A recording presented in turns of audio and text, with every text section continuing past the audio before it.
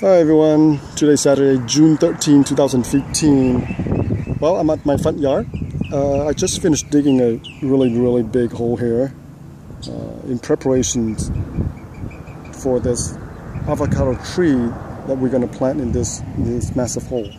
Well, I call it massive because I, I have to dig it with, you know, shovel and hole digger right here. The hole is about four feet in diameter and two feet deep. Uh, and I also amend the soil pretty nicely and I will show you the amendments that I, I, I, put in there. But first let me let me talk a little bit about the tree that we're going to plant. So this is one of the avocado, this is one of the dwarf variety avocado, as you can see here. Uh, and it's a hybrid variety, so that's good. Now, avocado come from South America, uh, Mexico, Guatemala, uh, and somewhat is subtropic and tropical region. So they don't like they don't like too cold, uh, but this variety can stand the, the, the cold temperature. And in order to do well, um, they have to be somewhat somewhat hybridized, hybridized to to suit for the weather and for the climate zone. Okay, and it's also say that this on this tag is also say that uh, this plant is protected from problematic aphids, whiteflies, beetles, mealybugs, and other unwanted pests. So that's kind of good.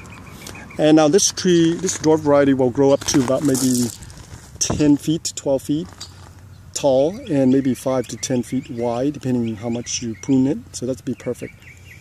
Uh, normal avocado tree will grow to maybe even 30 feet tall, and it will cover you know, 40 feet in diameter. So it's a very big tree. Avocados is a humongous tree. And I don't want such a large tree in my yard because I have other, other tree here as well. Uh, having a really big tree will, will pretty much cover everything else and will shade out everything else. So this, this dwarf variety would be perfect for my garden. Now it's about maybe two and a half feet tall now. The, the base of the plant is pretty nice. It's pretty thick, okay? It's pretty decent. It's two and a half feet tall top right here now. Now I set it here, I set this is a five gallon. I set it down to make sure I have the level with the soil, soil line. The, the depth of it actually go deeper, but of course, like I say, I have to level with the soil line. And then after that, I will backfill with the, uh, the soil. Okay, so what I did to, to amend the soil, first of all, I dig out my soil. Okay, let's mention about the soil first. This is a heavy, heavy clay soil. So I dug out roughly about four of this, you see that? Five gallon bucket of heavy, heavy clay soil. And I dump it in my other part of my garden over somewhere over there. So I dug out about over four five gallon buckets. And then I amend the soil with a lot of, um, with some sand, like this right here, sand, uh, gypsum. And I had a lot of steer manure for, for quick nitrogen because the plant do need nitrogen at the beginning just to get settled and grow. And I also add a lot of uh, perlite for fluffiness, uh, drainage, drainage. And of course, my favorite, my favorite all time is the organic super worm casting. That's one of my favorite. I had this to almost every plant, every tree, plant, shrub, whatever, peppers that I grow. Tomatoes, everything. Now this one I bought from the store because I kind of like went out of worm casting. Uh, so eventually I will add some of my compost and worm casting to to this plant later on as it as it as it's growing. Okay, so in order to to make sure to ensure that the plant will do well, you have to really amend the soil. This this soil is, is so heavy that I don't think anything will grow, any roots will be able to develop. So at least have it four diameter, four four feet in diameter. I think that's a good that's a good uh, start and eventually the surrounding here will be also be wet and moist. I will water it.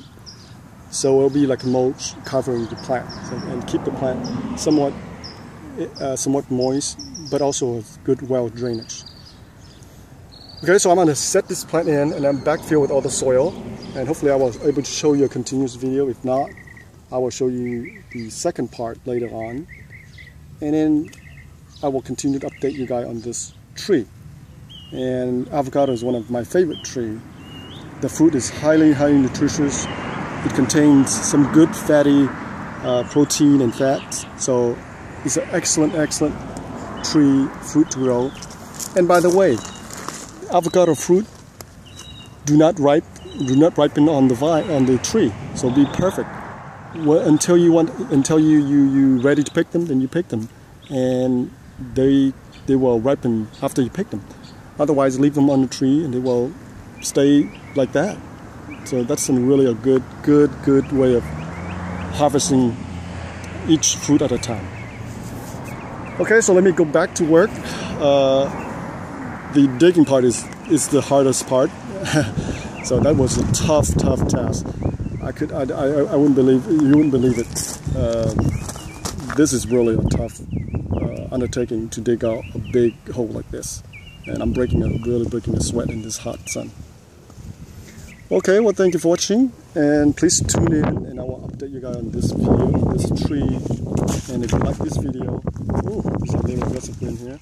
If you like this video, uh, and you like this video, please subscribe, subscribe, subscribe to our channel and post a comment if you like. And thank you for watching. We'll see you soon. Happy gardening.